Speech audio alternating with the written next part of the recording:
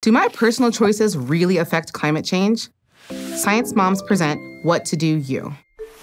More and more moms are making everyday changes to help their families tackle climate change. And while they may seem small, less carbon pollution is less carbon pollution. So we're gonna keep swapping carbon polluting stuff for clean stuff. When your gas powered things need replacing, try upgrading to electric versions. Things will be quieter and, you know, won't be polluting. Then there's the power that powers your stuff. 40% of all the energy we use in America already comes from clean, non polluting sources. But for the sake of our kids, we've got to clean the rest up ASAP. It's pretty easy to switch to a clean energy provider, and most places have at least one option. And you can always look on the bright side and go solar.